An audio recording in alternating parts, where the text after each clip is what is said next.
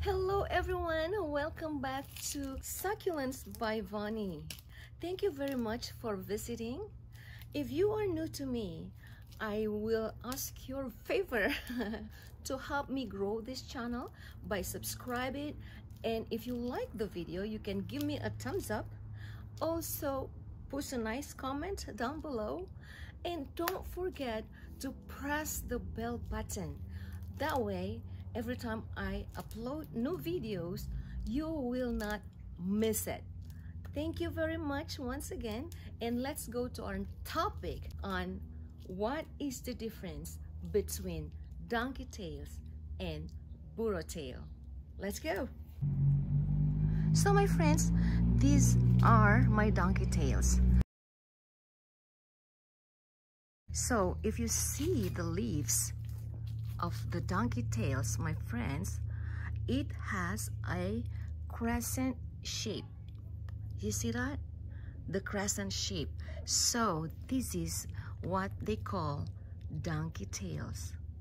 They are getting direct sunlight in the morning, okay? Now I'm taking you to my burro tail. So this is my burro tail. I'm going to take it and place it side by side with the donkey tail. Like that, okay? So if you look at the two, you can already tell the difference. Burro tail has a round shape of leaves. And then here's the donkey tail, right? The colors are slightly different, my friends. You know why though? It's not because they have different colors, but um, it's really because of the sunlight. My donkey tail received morning sunlight, like the whole morning, whereas my burro tail, they do not get direct sunlight because they're all the time are placed under the shade all right. Let me show you my burro tail my other burro tails.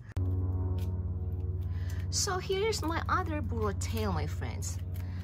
They are being placed or being stressed in direct sunlight. So they give me these nice cute colors. Some of them are pinkish greenish grayish. Very very pretty. And here's my other burro tail. You see that the color? And it has been getting direct sunlight all day long my friends. Look at the colors. So um with succulents not only donkey tails or burro tails my friends the color depends on the sunlight how many sunlight they get every day. Okay friends Thank you very much for watching this video. I hope this video will help you to know what is the difference between the donkey tail and the burro tail. Bye now.